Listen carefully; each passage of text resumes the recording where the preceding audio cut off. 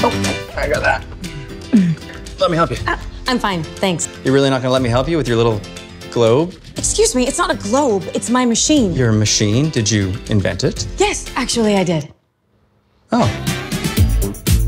You know, Phenomenails is really powerful. Wow. That actually is the perfect manicure. well, the Beauty Expo is coming up in a week. You just need to figure out your vision. I'll hire someone in marketing and PR to gain access into the Beauty Expo.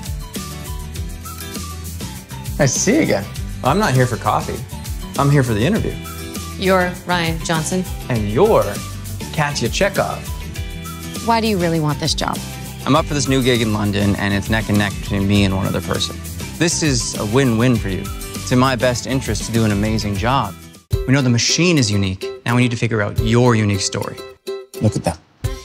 Really look.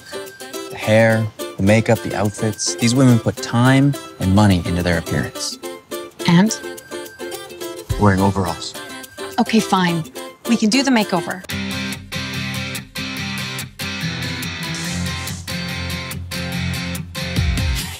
No. I'm ready. You look stunning. We're gonna sell this. We're gonna sell this. You worked hard today, and you've earned a bit of fun. So happy you could come. Well, how could I turn down an invitation from one of the best beauty companies in Chicago? I think the expo's a bit of a waste of time. I could put in a good word for you here. I'm quite certain that B. Eve would be interested in acquiring Phenomenails. I think I have to talk to Ryan first. Why don't you talk to him and tell me what he says over dinner tonight? I've seen guys like him my whole life, okay? They wine and dine you, but it is all for show. He is using you. If you care about Phenomenails, or more specifically, Katya, you better get in there. What's this? The offer.